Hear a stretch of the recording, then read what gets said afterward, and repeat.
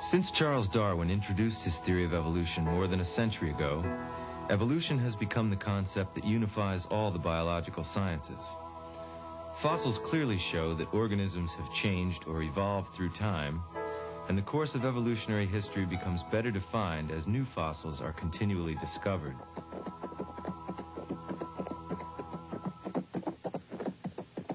Familiar example of the evidence of evolution is the unusually complete fossil record of horses, which extends back more than 50 million years to the earliest recognizable member of the horse family, Hyracotherium.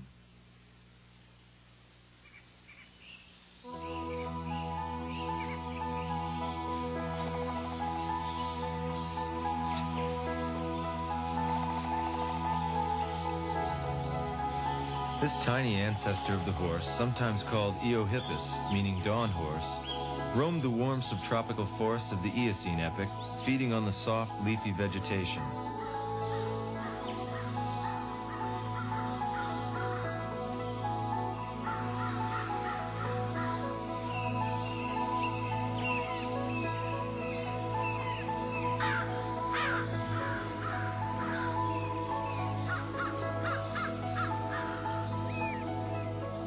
A close look at the teeth of Hyracotherium reveals a simple pattern of bumps and ridges on their chewing surfaces. The premolars were smaller and more slender than the molars and contributed little to the grinding of food.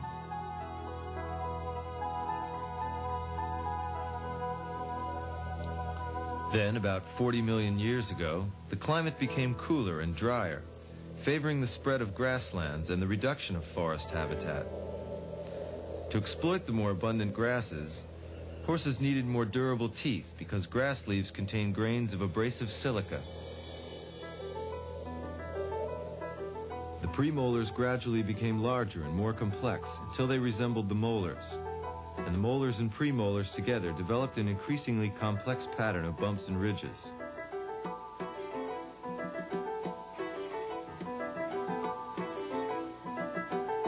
With Merychippus, which lived about 15 million years ago, a second major advance began in the adaptation of teeth for grazing or eating grass. A bone-like substance called cementum formed around the crowns of the developing teeth, filling the depressions around the bumps and ridges. The teeth could thus become very tall and yet remain strong. The higher the crowns of its teeth, the longer a horse could eat abrasive grasses before its teeth wore down to the roots.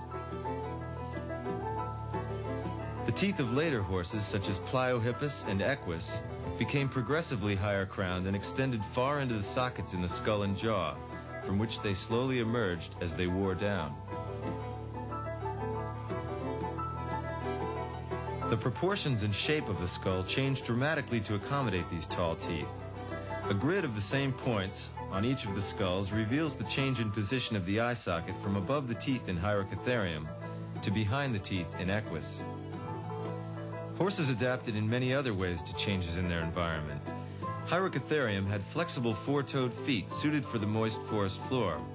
As forests gave way to grasslands, the feet of later horses adapted for running on harder ground. The middle toe of each foot, which bears most of the weight, increased in size while the side toes decreased. In living horses, the side toes are completely lost, and the foot bones that bore them are reduced to slender remnants on either side of the foot.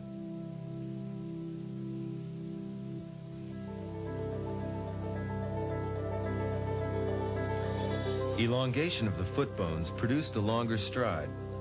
This, combined with physiological changes, gave horses the speed and endurance for fleeing predators in a habitat where hiding was no longer possible.